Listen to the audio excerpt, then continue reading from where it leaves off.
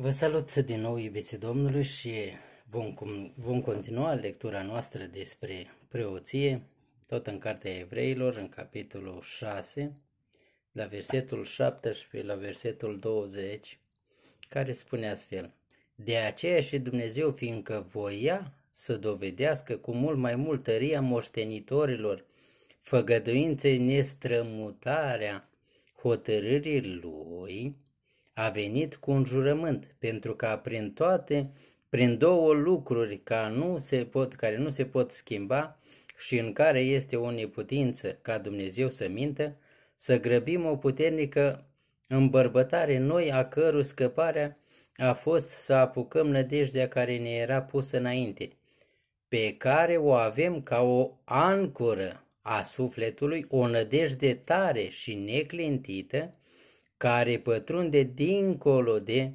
perdeaua dinăuntru templului, unde Iisus a intrat pentru noi ca înainte mergător când a fost făcut mare preot în veacă după rânduiala lui Melchisedec. Uh, și Evrei 7 cu 28 spune într-adevăr, legea pune mari preoți pe niște oameni supuși slăbiciune, dar cuvântul lui jurământului făcut după ce a fost dată legea pune pe fiul care este desăvârșit pentru veșnicie.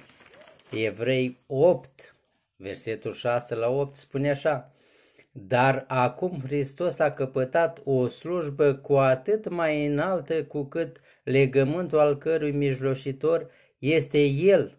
E mai bun și este așezat pe făgăduințe mai bune. Într-adevăr, dacă legământul din tâi ar fi fost fără cusur, n-ar mai fi fost vorba să fie înlocuit cu un al doilea. Căci ca o mustrare a zis Dumnezeu lui Israel, iată, vin zile, zice Domnul, când voi face cu casa lui Israel și cu casa lui Iuda un legământ nou. De aceea, iubiții Domnului, mă repet din nou.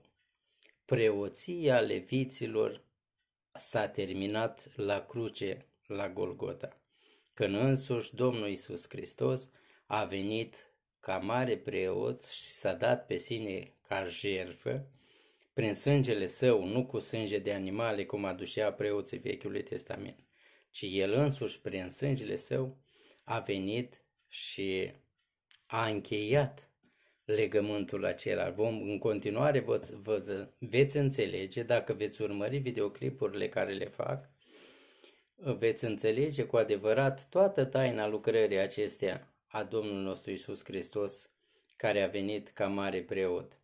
Vedem, iubiții Domnului, cum, cum ne vorbește și uh, în Evrei, în capitolul 6, versetul 19, spune că avem ca o ancoră a sufletului, o nădejde tare și neclintită care pătrunde dincolo de perdeaua templului.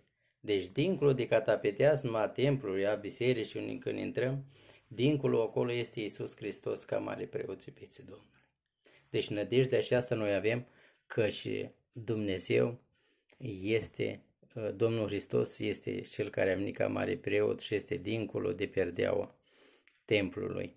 Versetul 28 din capitolul 7 din Evrei spune într-adevăr, legea pune mari preoți pe niște oameni supus slăbiciune, ceea ce se întâmpla în vechiul legământ.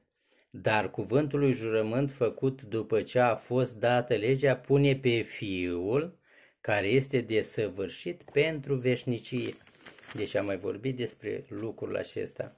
Și vedem în Cartea Evreilor, în capitolul 8, la versetul 6, spune, Dar acum Hristos a căpătat o slujbă cu atât mai înaltă, cu cât legământul al cărui mijloșitor El este El. E mai bun, că și este așezat pe făgăduință mai bune.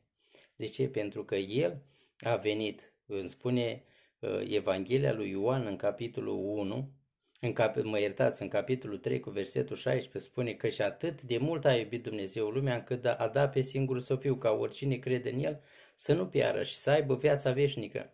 Deci aceasta este, este mijlocitorul care ne l-a dat Tatăl. Deci el, Tatăl ne-a iubit atât de mult că a dat pe Fiul Său ca oricine crede în El să nu moară și să aibă, să aibă viața veșnică.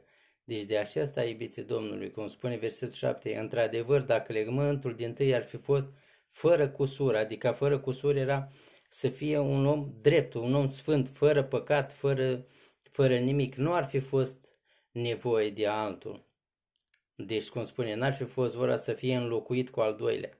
Dacă era preoția din Vechiul Testament, dacă era valabilă și era bună, n-ar fi fost nevoie ca să se schimbe. De aceea, Domnul nostru Iisus Hristos, Dumnezeu Tatăl, a dat pe Fiul Său ca mare preot, ca mijlocitor, ca El să, să ne fie nou mijlocitor și El este, cum v-am spus, este mare preot în templu, făcut, nu făcut de mâini omenești. De aceea vă, vă doresc ca să înțelegeți cuvântul Domnului și să urmăriți videoclipuri și să vă înțelegeți lucrarea lui Hristos ca mare preot. Amin.